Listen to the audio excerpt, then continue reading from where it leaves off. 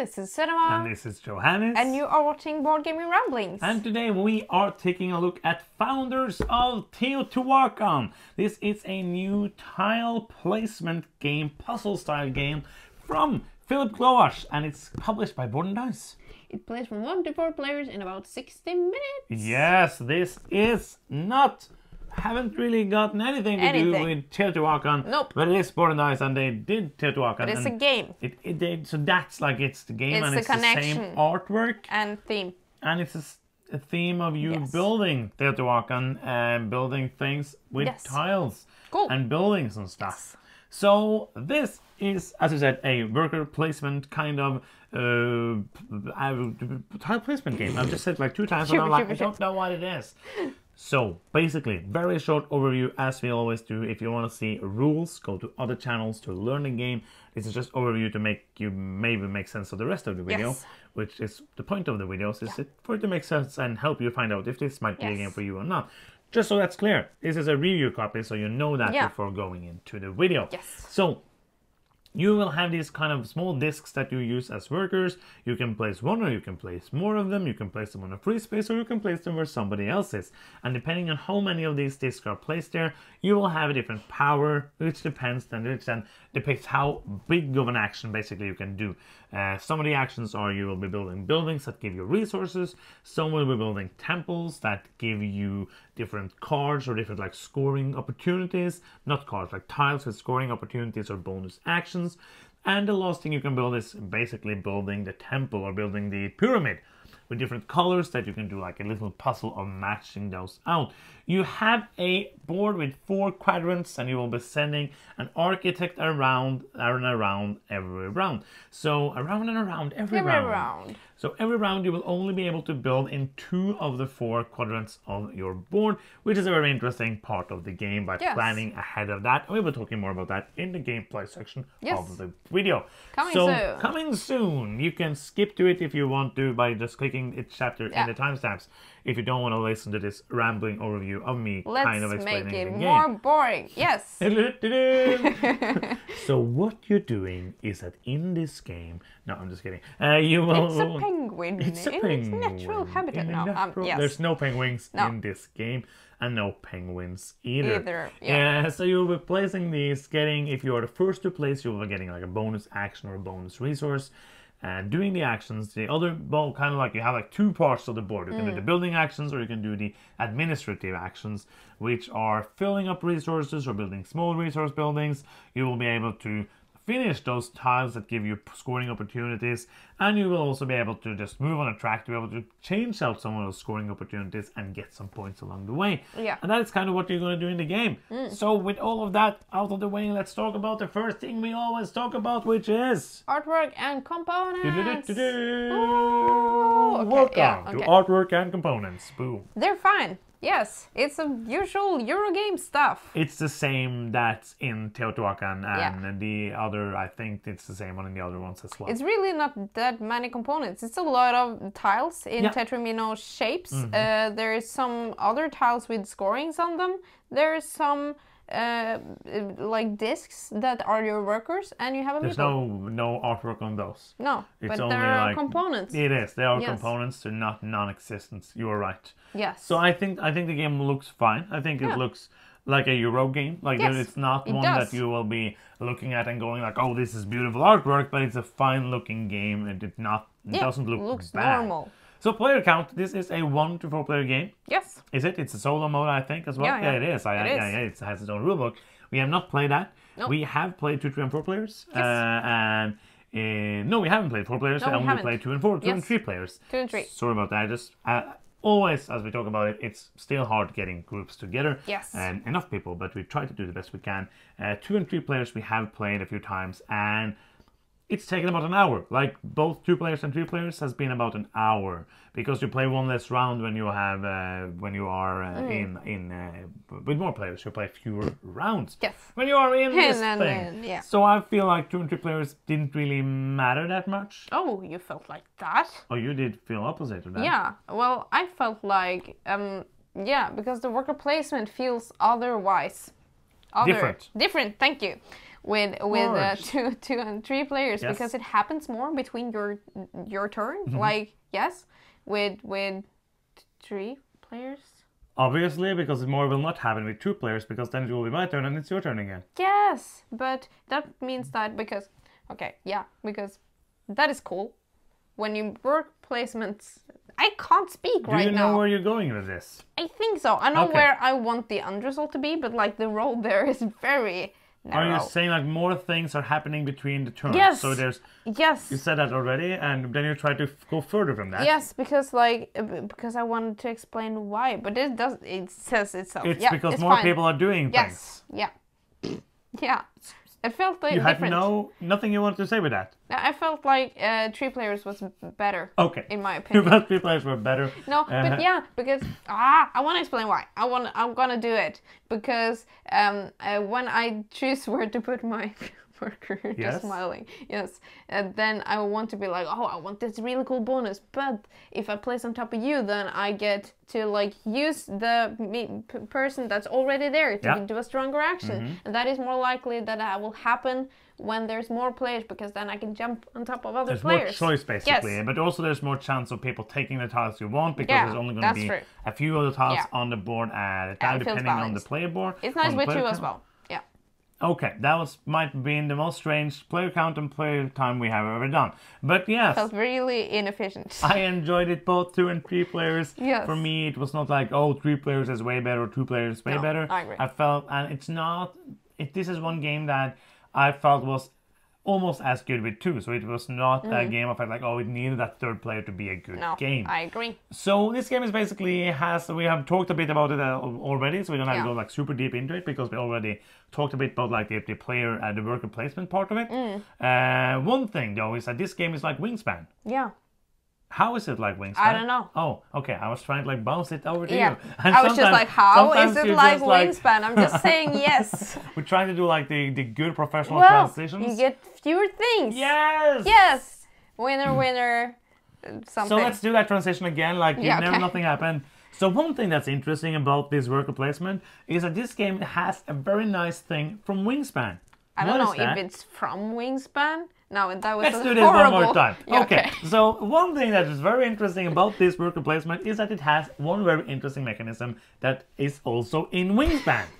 and that is that you lose like one of your workers or Yes. Mm-hmm. tiles every round. So you get fewer and fewer with each round, which means that it feels very, very sad when you lose the things because then you can do fewer things. It, and this game has because it doesn't have like that combo feel of Wingspan. Yes. Which means that this has a pretty weird feeling because most games escalate Mm. Yes. throughout the game, and this kind of de-escalates. Well, I feel like it's kind of like it de-escalates, but then you also usually have built some maybe some uh, buildings from before that you have resources available to get Oh, yeah. to do stuff Yeah, yeah. way. So Absolutely. it really doesn't like wow It's very not like you hard. don't get to do No, anything. No, no. yes. But it and it also kind of the rounds doesn't feel like that much of rounds. It feels like you're just like you go round and round and round, then you refill something, you go Yeah, around round and round, and round, you refill from time to time. Yes. So it doesn't feel like that, but it, it feels different from many games because of that feeling. Yeah.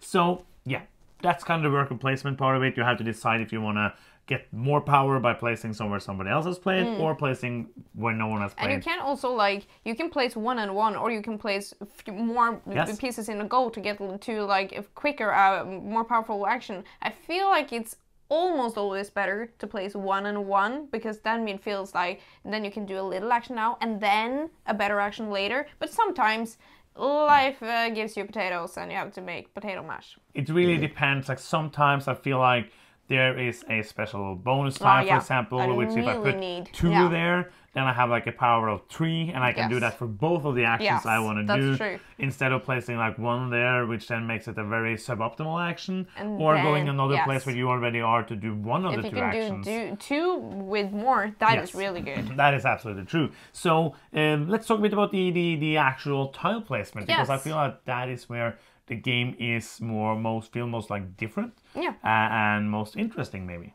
I feel like the coolest thing I think about this like tile placement is the planning of where the architect is. Yeah. Because I can, for example, be like, oh, I want to place this um, temple there because I have my red scoring in that area because then I get po- points for the red temple How that, does that I work? place. Because the pyramid that you build in the middle Yes. can also be built, it has to be built into different sections. Yes. And that means that you try to match the colors of the pyramid to the parts that you build the temples in the matching colors. That that makes sense? Absolutely. A little? That yeah. makes sense. Perfect. So then um, it means that I'd be like, oh, okay, this this turn I have to do this action because the meeple is there, and next turn I really want to do that action, but I can't really uh, like I can do it, but then I don't get the points for the things that I want to build, Mm-hmm. and that is the wrong shape and stuff like that. So I, I feel like that I actually plan a little ahead in this game. Oh yeah, absolutely. And sometimes you're like, oh, I forgot that this thing was gonna Yes, move, and you, uh, oh, I didn't yeah. do that. And sometimes it's worth just buying the temple to get like the scoring tile or the special tile, even though we're not gonna get the two or three points for it because there's different strategies. I feel like going Yeah. for here, even though like going for no points for all the temples is not gonna be a very good strategy. Yes. Believe me, I tried. Aha. Uh, one thing I do really enjoy, like there's there's one thing which is like okay, is filling out the masks by getting points Oh, for I that. think kind that of is nice. that is a race kind of. It, Yeah. it, it adds interaction. It's one of the things that actually adds interaction to a more or less like a solitary Yeah. game. But the you wanted to say something yeah because i think like that changes up how you play sometimes because it, Okay. sometimes i feel like it's very obvious that i'm gonna place for example the resources where it's nothing around it so that i can fill up because you when you place a resource building you place like everything that is adjacent you get resources in Hmm. and then it would be uh, less of a thinking decisions if it was like a one obvious answer. Now Hmm. I have to think about the masks as well, and those are usually in like between something. No, uh, to like adjacent to like the side of the board. Yeah. So that means that if I place a building over the mask, I get the points, but I get less resources. because that was the thing we were going to talk about because we haven't talked about how the resources work. Yes, That's where I was gonna go ahead, next. No, no, but it no made worries. sense. Yeah, yeah, it makes sense, especially after we talk about the resources. So, uh, I'm just joking. When you place the resource buildings, this is one thing I also really enjoy, which I haven't seen in this kind of game before, is that many of these puzzle games have like obviously a spatial thing, which I really enjoy. Mm. But this also has like when you place a resource building, you get physical resources on the spaces Yeah. around that, That building. cool. Uh, all the orthogonally placed uh, around the building and you have to have space for it. So you have to choose like, do I want to build it here, and then maybe not have space for that temple, uh, but Hmm. get all of the resources. I want to build it down here, but only get half of the resources for that action I just It did. really hurts my brain that this is a grid that I don't want to play. Like I don't want to place good, it perfect. yeah, yeah, I want to like have gaps. good, yeah. It feels weird, but you get used to it pretty fast though. Yeah, but that is Yeah. very different from this. Like this kind of like the placement and the moving of the architect is what makes this game stand out for me. It makes it feel different, make Mm. it feel like it's a fresh thing in a genre of games which has Mm. many similarities like you want to build perfectly this little thing you want to get those points maybe fill over something you have that here as well but i really enjoy the uh, scoring of the, the, the temples Mm. i enjoy also in that regards i really enjoy where you uh, the temples also give you those scoring tiles, and you have to balance like building all of the temples and getting all the scoring tiles. But you also need to do actions to actually Mm. Oh, yeah. finish those scoring tiles, And which is a very nice balance. I feel like. And usually I end up building a lot of temples and then forgetting to score the tiles. Mm. And the like the harder temples, the bigger temples that are harder to build, usually has very easy Yeah. uh, scorings, Tasks, and yeah. the the very cheap temples are harder to score. So Mm-hmm. that is, I think that is a nice balance. Absolutely. So I think we basically. Is there anything you don't like? Like for me, most of the things here are either like, oh, this is something I've seen before, or interesting and fresh. Oh, yeah. Is there anything you do not like? I'm trying to like wreck my brain. No, I really like everything about this game. I, I can't really fault it at any anything. Mm-hmm. Um, I just enjoyed it a lot, so I'm ready for final scoring. yes i don't even i don't think i have anything like negative is there i'm trying to think about something that other people might not like of course you have to like tile placement, yeah. and and i think like the balancing here of the worker placement i'm basically doing my final thoughts now with seems Yeah, like so i'm just gonna do that No problem. uh, I, I really enjoy like the the tile placement and the the worker placement part of it, like the choosing when you want to do the Mm. Yeah. building actions, when you want to do the administrative actions. You never have enough actions. Yes. Trying to do combos, trying to do this to get that, and then use that to get another action Yeah. to be able to build that thing at the right moment when the architect is at that place. Mm. I think it's crunchy enough. I think that I don't know, like in like it would be nice maybe to get an expansion to do add some variability because the game is you are going to do mostly the same things. Uh, of course, the different scoring tiles are going to push you into building. Oh, no, I have a scoring tile. I want to give me three blue tiles, so I want to build three blue tiles because I want those twelve points. Uh, so for me, I think it's a good game. I don't think it's an amazing game, but I did enjoy my place of it, and I feel like it's fresh enough. So if you like worker placement, it doesn't really feel like worker placement, but that has that kind of genre. But if you like tile placement and you want something that feels a bit different, a bit Yeah. fresh, I feel like this is absolutely that. And I'm going to give it a 7.5. I think it's a good game, and I want to keep it in the collection. Yeah, I, I have like when we wrote down the things that we were going to say because we have some like oh we want to talk about this and this and this and I was just 100% like scripted. yeah yeah of course and and I was just like oh these are really cool mechanisms Mm-hmm. these are really fresh things that I haven't seen done in this way before especially that yeah as you said worker placement where you Yep. like the numbers that you place gives you a better action Mm-hmm. I really like that I I think it's really cool that if I go there with like a lower number, I can still do the action. I just Yeah. have to pay more. Yeah. So it's really not very restrictive either. It That's feels true. open. And that also makes it a really good Euro puzzle. As you said, for expansions, I don't feel like I need that at all because No. for me, it's just Yeah. like optimizing this. I feel like I still have, like the last round we played, I felt like I did really well, but then I miscalculated. Like I thought we had, we were done, and then we had one more round. I was just like, "Uh, next time I play, I will gonna, I was going But, but to you crush still won you. like a lot. Yes, but I will. So, so I need an expansion that makes the game easier for me. Yes. Um, so I, I really can't fault this game at anything. Uh-huh. I feel like it's just like a, a lot of fun. Yeah. And I want to give it an 8. It's a great game. Awesome. So that is Teotihuacan founders of that place. And that's the end of the video. If Yes. you are still here and you have not subscribed, you can do so now. Bye. Clicking the subscribe button is fun and it's free and makes us happy like this. If you want to do something that's not free, you can. Go to patreon.com slash boardgamingramblings and support us there. And that is the end of this video. Yes. Thank you so much for watching. I'm Johannes. I'm Cinema. and you've been watching Board Gaming Ramblings and bye bye.